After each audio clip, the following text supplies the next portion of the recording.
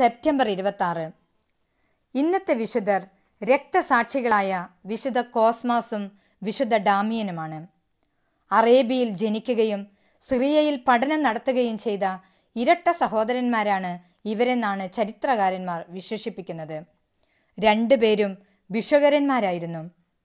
നല്ല കൈപുണ്യമുള്ള ഡോക്ടർമാർ ആയിരുന്നിട്ടും ക്രൈസ്തവ മൂല്യങ്ങൾ നിറഞ്ഞു നിന്നിരുന്നവർ തികച്ചും സൗജന്യമായാണ് വൈദ്യചികിത്സ നൽകിയിരുന്നത്. അതുകൊണ്ട് തന്നെ പണമില്ലാത്തവർ എന്ന രീതിയിലാണ് കിഴക്കിൽ അവർ ബഹുമാനിക്കപ്പെട്ടിരുന്നത്.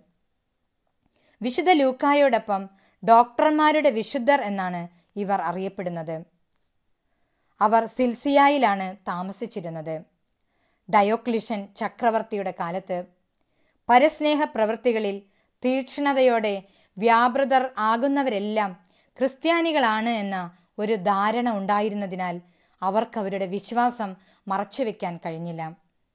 വൈദ്യ ചികിത്സയ്ക്കൊപ്പം വേദപ്രചാരവും അവർ നടത്തിയിരുന്നു.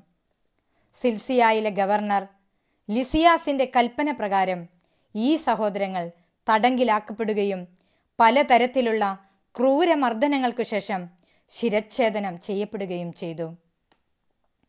ഇവരുടെ ശരീരം പിന്നീട് സിറിയായിൽ കൊണ്ടുവരികയും സിർഹൂസ് എന്ന സ്ഥലത്ത് അടക്കം ചെയ്യുകയും ചെയ്തു എന്ന് പറയപ്പെടുന്നു. ജൂനിയർ തിയോഡേഷ്യസ് ചക്രവർത്തിയുടെ കാലത്ത് ഈ വിശുദ്ധരുടെ ബഹുമാനാർത്ഥം ഒരു പള്ളി പണിയുകയുണ്ടായി. വളരെ പുരാതന കാലം മുതലേ ഇവർ ബഹുമാനിക്കപ്പെടുകയും ഇവരുടെ അത്ഭുതകരമായ രോഗശാന്തി മൂലം വൈദ്യന്മാരുടെ മധ്യസ്ഥർ എന്ന പേരിൽ അറിയപ്പെടുകയും ചെയ്യുന്നു. ജസ്റ്റീനിയൻ ചക്രവർത്തിക്ക് ഇവരുടെ മധ്യസ്ഥം മൂലം രോഗശാന്തി കിട്ടുകയും അതിനുള്ള പ്രതി നന്ദിയായി ഇവരുടെ തിരുശേഷിപ്പുകൾ സൂക്ഷിച്ചിരുന്ന സിർഹൂസ് പട്ടണത്തിന് പ്രത്യേക പദവി നൽകി അംഗീകരിക്കുകയും ചെയ്തിട്ടുണ്ട്.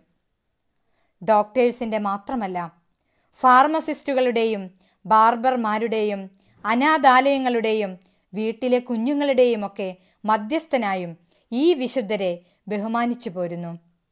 ഹെർണിയയും പ്ലേഗും മുതലായ രോഗങ്ങൾക്കെതിരെ ഈ വിശുദ്ധരുടെ മാധ്യസ്ഥ ശക്തി ഉപയോഗിച്ച് പ്രാർത്ഥിക്കാറുമുണ്ട്. വളരെയേറെ അടിച്ചമർത്തലുകളിൽ നിന്നും ഉയർത്തെഴുന്നേറ്റ ധീരന്മാരായ ക്രിസ്ത്യാനികളെക്കുറിച്ചുള്ള സ്മരണകളാണ് ഈ വിശുദ്ധരുടെ ജീവിതം നമ്മെ ഓരോരുത്തരെയും ഇന്ന് ഓർമ്മപ്പെടുത്തുന്നത്.